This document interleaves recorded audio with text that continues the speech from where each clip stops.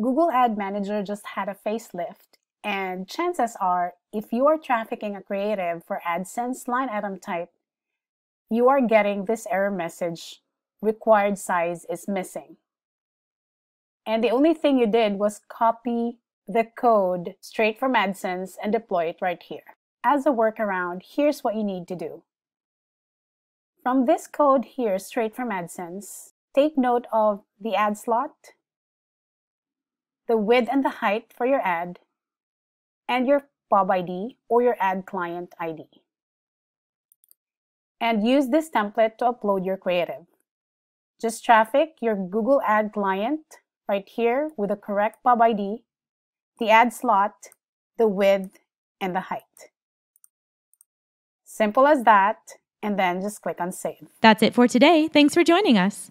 Don't forget to subscribe to our YouTube channel and to subscribe to our blog to learn to monetize more. Hope to see you here again soon. Bye for now.